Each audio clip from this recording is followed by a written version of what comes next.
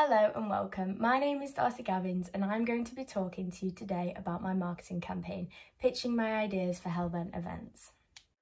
The HellBent event strategy claims that they help to efficiently spend the event budget in order to ensure the event has a robust calendar, which helps me perfectly move on to tell you about my attendee timeline.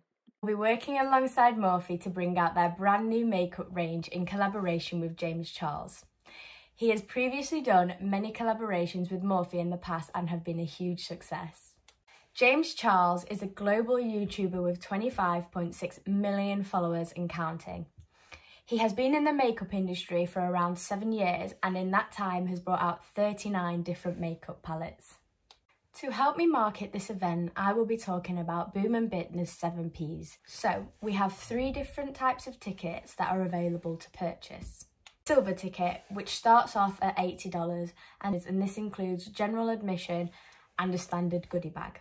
We then have the gold ticket, which starts at $125. And next up, we have the VIP tickets, which are $250. This includes general admission, a goodie bag including Tatti Lashes, James Charles products, a selection of supporting sponsor products and a picture with James himself. Looking at the audience agency, I felt as though it didn't really fit in with the audience that my event would specifically target as the audience agency are mainly based on cultural events. Although I did look at the Metro cultural audience and found that there are a few qualities that some of the demographic of my audience would have. They are likely to be working in a demanding but rewarding profession, including arts professionals, which the makeup industry is constantly changing due, due to trends. So in some respect, it does fit, but it is only a very small percent of the audience. What I did find out is the following.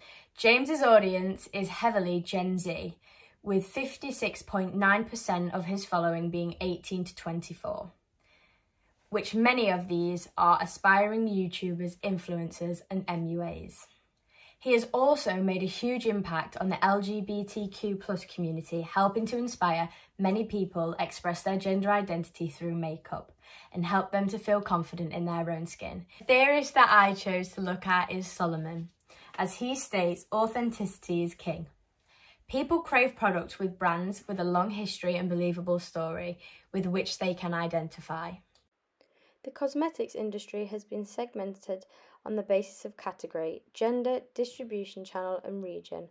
On the basis of category, the market is divided into skin and sun care products, hair care products, deodorants and fragrances, and makeup and colour cosmetics. By gender, it is divided into men, women, and unisex. To help me gain a great understanding on the perfect attendee timeline for a product launch, I looked at the Bizzabo blog. Four months prior to the event, all influencers will be sent their invitations via a PR package to the product launch.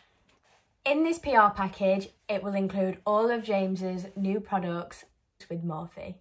Once all PR packages are sent and delivered, we will be asking all the influencers who had received the parcel to be opening their packages online via TikTok, Instagram, and Instagram Lives. By doing so, we hope this creates a huge buzz for the new products.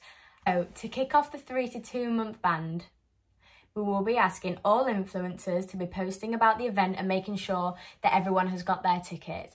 This could be through posting stories.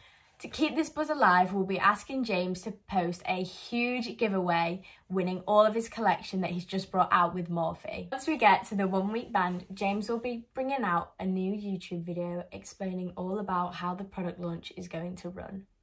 To help me critique my marketing campaign, I looked at Privette, who focuses on making events a peak experience with transient moments of joy, which is exactly what I want to create at the product launch.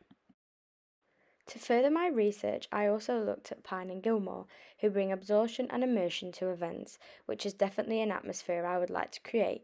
We want the attendees' attention purely on the new makeup and to really feel as though they were the creators, to also bring a magical atmosphere of the makeup industry, surrounded by bright colours and upbeat music, which you are about to see in my promotional video. Sisters. Hi, sisters. Hi, sisters. Hi, sisters. Hi, sisters. Hi, sisters.